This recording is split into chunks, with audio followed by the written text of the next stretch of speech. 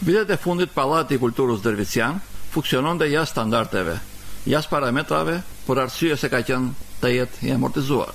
Fillesat e ndërtimit të kësaj godine datojnë në vitin një mijë e nëntëqind e gjashtëdhjetë e tetë, ku janë zhvilluar aktivitete kulturore dhe artistike, janë dhënë shfaqje teatri, janë shfaqur filma të ndryshëm, Janë hapur ekspozita figurative, funksiononte biblioteka publike, si dhe zhvilloheshin pritjet e delegacioneve të huaja, sidomos para viteve nëntëdhjetë. Duhet të kalonin dekada të tëra që pushteti vendor të ndërhyjë për rikonstruksionin e plotë të godinës.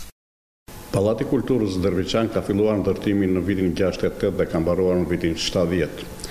Është një vepër e me investime nga ish-kooperativa e tipit të lartë Derviçan, po edhe me punë vullnetare nga banorët e fshatit Derviçan. Është ngritur në rrënojat e vatrës së kulturës ekzistuese të fshatit dhe ka shërbyer gjatë tërë këtyre viteve për shumë aktivitete kulturore, folklorike, jo vetëm për fshatin Derviçan, po për tërë krahinën e Dropullit dhe më gjerë. Njëkohësisht, Gjatë pas viteve nëntëdhjetë janë bërë disa herë ndërhyrje të pjesshme, por gjendja aktuale e godinës, qoftë nga ana e jashtme, qoftë brenda, kërkonte një ndërhyrje urgjente.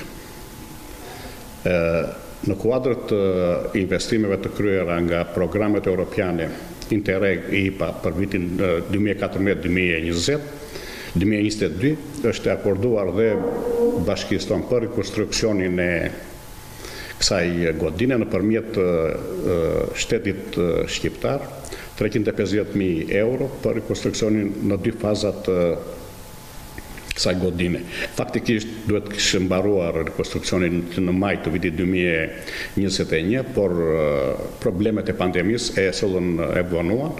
Tani ka filluar rikonstruksioni, do përfundojë me sukses të plotë edhe do të shërbejë pikërisht për të njëjtat objekte kulturore dhe folklorike për tërë Bashkinë e Dropullit.